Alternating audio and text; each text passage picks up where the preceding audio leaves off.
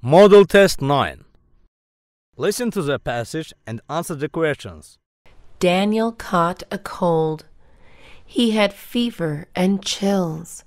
His nose was running all day.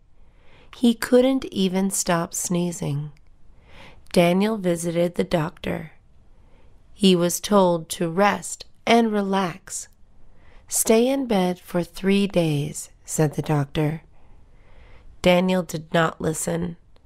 His friends wanted to go swimming.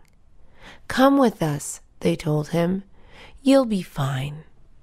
Daniel and his friends stayed in the pool until late at night. The next morning, Daniel felt terrible. His voice was completely gone. He was shaking all morning. He stayed this way for five days. He called his doctor for help.